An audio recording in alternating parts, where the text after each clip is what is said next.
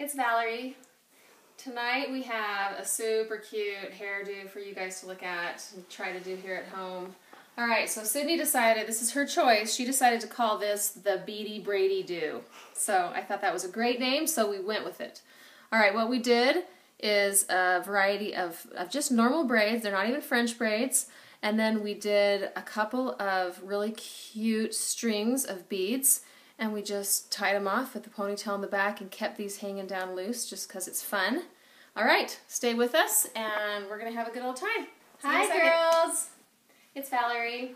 All right, so today what we're going to do is a really fun, kind of a funky ponytail pullback and I've already started it. So what I did is I, come up closer, I did a zigzag part on the left side and I pulled it over here into a side ponytail. Okay, I'm going to take that out in a minute. And then I pulled the rest of it into just a normal back ponytail. Always use clear rubber bands whenever possible. That's my favorite anyways. Okay, so what I'm going to do is I'm going to take this piece out and I'm just going to do about eh, three or four braids. Okay, so I'm just going to quickly crank out these braids. I'm going to put them kind of, they're going to be sporadic in this part of the hair. They're not even French braids. They're just going to be normal, old, three-stranded braids, and then we're going to do some fun things with the remainder of the hair.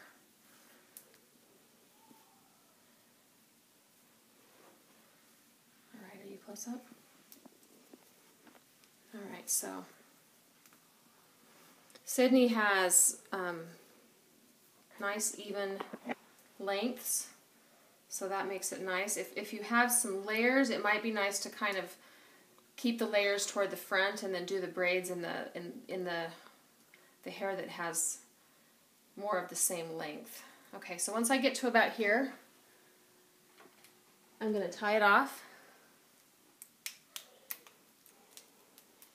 Alright, so we'll probably just turn the camera off here and I'm going to just do a few more of these braids because I think you probably get the point. So Hi um, guys. Right okay, so what I just did is I just I didn't even really you know worry too much about parting it. I just went ahead and made five braids here on the side of the head. So what I'm going to do now for just a minute is I'm going to hold. I'm going to have you. Would you just grab that? Yeah, there you go. Hold that back, and then we're going to just take some tiny pieces of hair here. Like not much because if you take too much it becomes a big problem. I'm going to spray it till it's soaking wet until you get a nice pointy end. See like that? And then I'm just going to start stringing some beads clear up to the top. And if it gets wet, if it gets dry, then you end up having these, um, you know, the ends are not pointy and so it becomes a problem.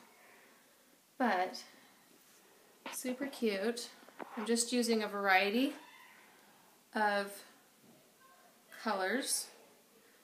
Again, I got these um, beads just at the craft store. So I'm going to go ahead and just bead this with a, you know, just random, random colors all the way down.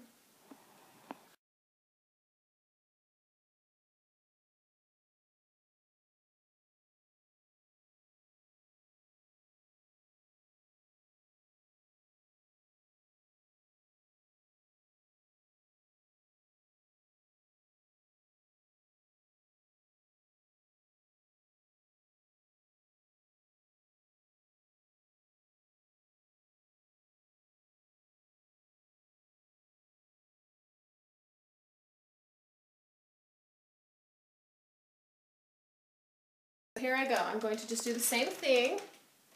Nothing compli- oh that haunted door.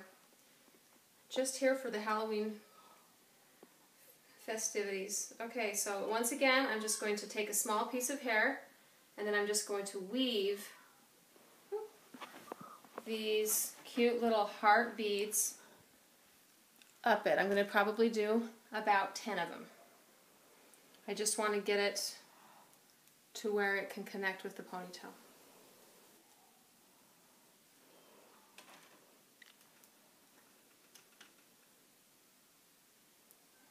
You got to keep that. You got to do your best to keep these ends nice and wet, so they are. They give you kind of a nice straight edge.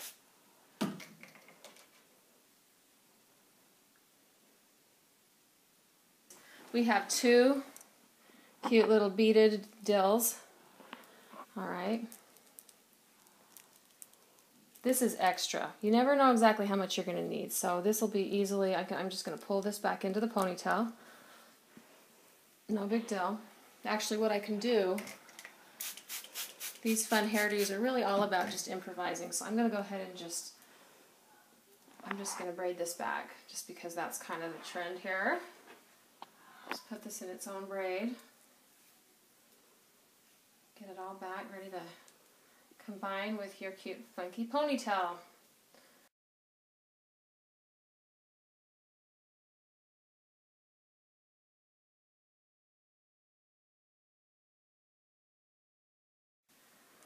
I'm going to full with these in a minute because we want to make sure those really show. So go ahead and turn your head, turn your head all the way around this way.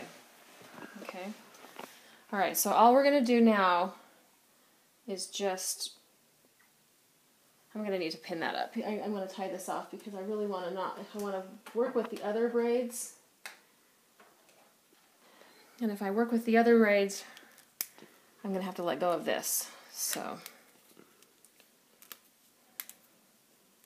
okay. Okay, so here we go. All right, so just, now we're going to go like so. And then I'm going to just grab this one. And I want to just kind of weave it in to this one to me feels like it needs to be a little higher. So I'm going to go ahead and put this higher here. So I have one higher and one lower like that.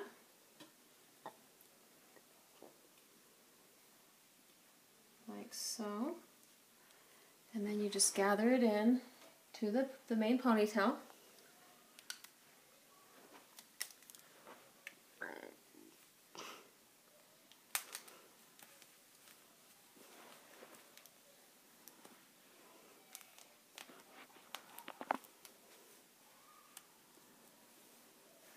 And then you can do a couple of different things. All right, so go ahead and show her what that looks like. It is super pretty.